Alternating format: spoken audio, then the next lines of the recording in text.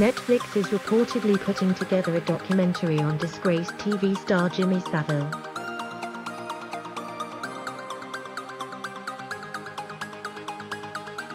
It is understood that documentary, which is still unnamed, will take a look into the life of the shamed small screen presenter.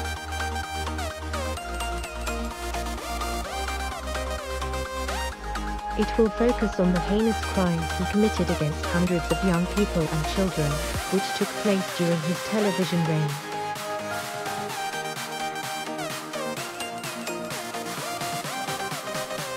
Following the success of their four-part series on pedophile Jeffrey Epstein, the upcoming show will explore just how he was able to get away with his sickening crimes, despite being a prominent figure in the public eye.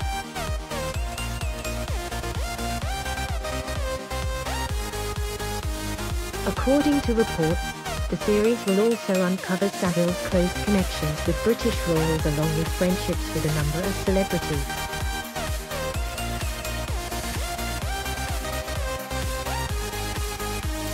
Read more related articles Read more related articles Speaking to The Sun, an insider said it's hoped that the doc will drop on the streaming platform next year.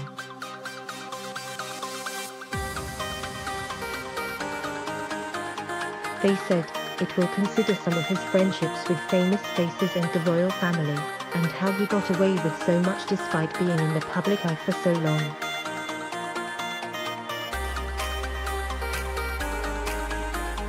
Savile had allegations of child abuse made against him dating back to 1963, but the allegations were only widely publicized after his death in 2011, aged 84.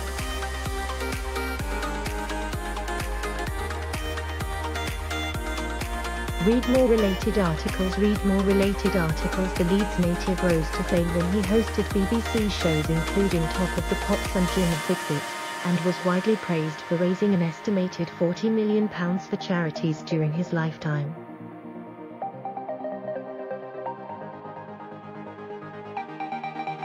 A year after Savile's death, an ITV investigation looked into the claims made by his victims, prompting Scotland Yard to launch a criminal investigation, named Operation Yewtree.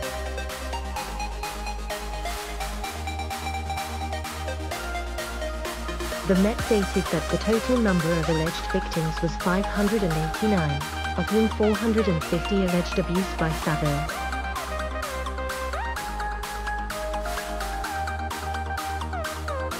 Read more related articles Read more related articles A significant part of Savile's career and public life involved working with children and young people, including visiting schools and hospital wards.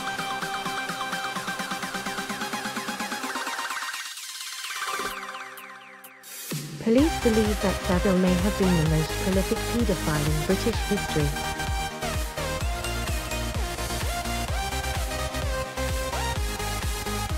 Following the allegations, many places and organizations named after or connected to Savile were renamed or had his name removed.